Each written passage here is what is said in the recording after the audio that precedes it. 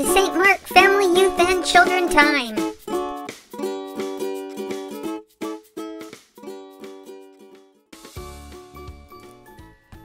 Good morning. Today we're looking at the Holy Gospel of our Lord Jesus Christ according to John 14, verses 1 to 14. And right smack dab in the middle of that is John chapter 14, verse 6. And it says, Jesus answered, I am the way and the truth and the life. No one comes to the Father except through me. So, among the other things Jesus is telling his disciples and us is that he, Jesus, is the way to the Father. Well, there was a time when a person going on a trip wouldn't think of beginning their journey without a road The map was very helpful to the traveler in finding the way to where they were going. Today, we don't often see a road map, and you know why? I bet lots of you have a car that has a GPS in it. Mm, my car is old. It doesn't have a GPS, but I have one that I can bring in the car and hook up. I also can use my phone as a GPS if I have data. So, what is a GPS? Well, GPS is short for Global Positioning System.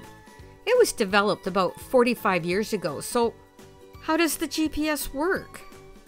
Well, when you're ready to go somewhere, you type in the address where you want to go.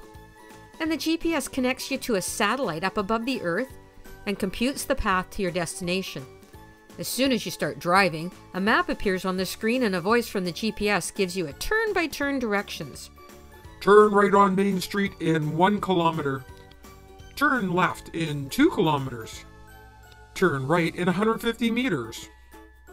Uh oh. What happens if you were too busy talking and you miss your turn?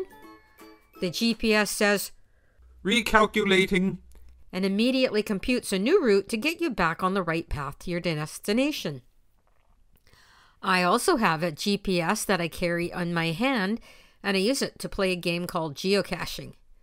It will help me not just find my way on the road, but on trails and on the water. Wow, it would be so cool when we're trying to follow Jesus in our daily life to have a GPS to lead us in the right direction, wouldn't it? Hey, I have a friend, and her watch sets off an alarm to tell her she's been sitting for too long and to get up and move. And another friend, on her watch, it tells her how many steps she's taken, and that way she can be healthier. It'd be nice to have something to keep us on the right path and keep us from getting lost like a GPS. It would be something if we had a device that would help us to get on the right track when we made a wrong decision. Hmm, I wonder. Do not eat that cookie. Hmm. Then again, it might be a little annoying. I guess that Jesus' disciples might have liked something to help them after Jesus told them he's going to leave them. So why don't we look at John chapter 14, verses 1 to 14? Jesus said to them, I'm going to prepare a place for you, and when everything is ready, I will come and get you, so that you will always be with me. You know the way to where I'm going. One of the disciples, whose name was Thomas, answered Jesus, Um, no, we don't, Lord. We don't even know where you're going, so how can we know the way?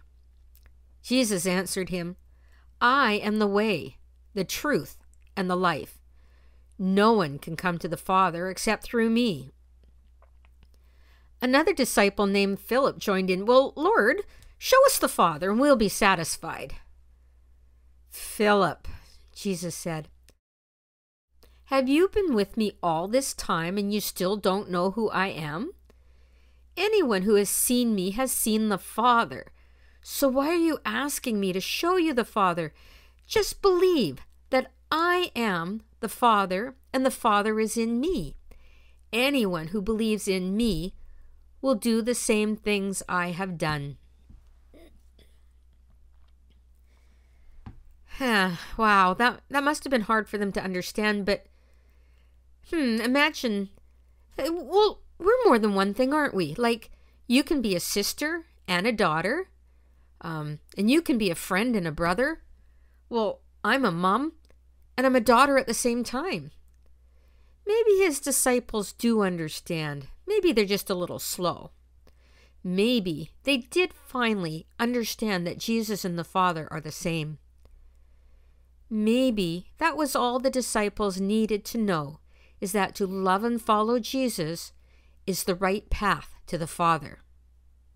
Hey, but even if we have our smartphones and GPSs or even road maps or a treasure map, how do we find our way to where Jesus is gone to be with the Father?